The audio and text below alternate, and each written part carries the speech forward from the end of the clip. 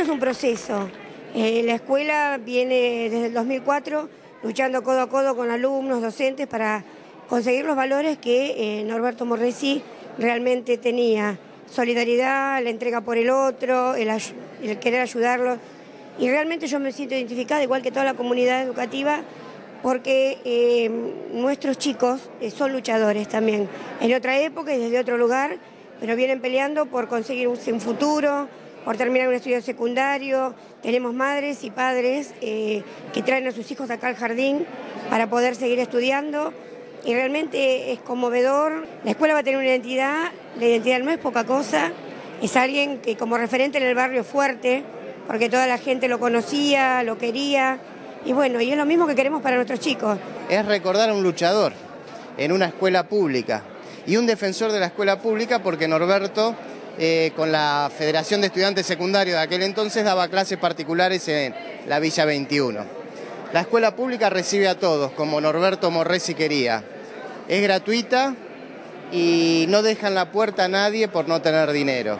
Hoy damos una placa a la directora de la escuela en nombre de los docentes, en nombre de los 600 docentes detenidos desaparecidos y en nombre de la escuela pública y a favor del derecho a enseñar y aprender presentamos el proyecto eh, y bueno, fue aprobado en las dos oportunidades con consenso absoluto de la legislatura y tampoco tuvo objeciones en, la audiencia pública, por suerte. y, bueno, la verdad que una emoción enorme porque por esas cosas y vueltas de la vida, Norberto Morresi fue un compañero de militancia al que yo conocí perfectamente en aquellos años 70 en la Unión de Estudiantes Secundarios.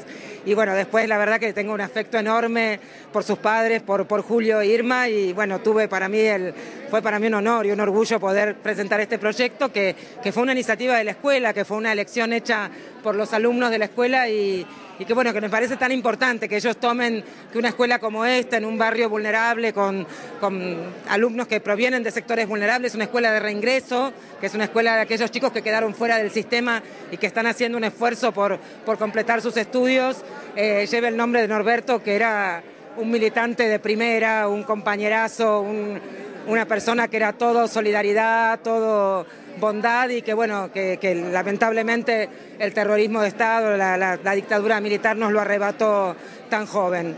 Es tan especial que hoy cumpliría 55 años y bueno, dentro de la emoción y el orgullo de esto, con el dolor de, no tenerlo cerca nuestro, ¿no?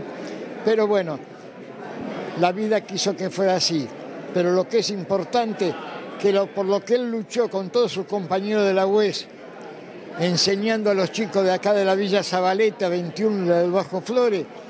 Él sin ser docente era prácticamente ejerció docencia, porque él iba a las villas a enseñarle a los chicos a leer y escribir, a sacarlo de la droga, y eso nos hacía sentir muy orgullosos. Y es algo tan importante que los genocidas asesinos creyeron que matando a cada uno de ellos terminaban con las ideas de los jóvenes pero no se dieron cuenta que lo estaban sembrando.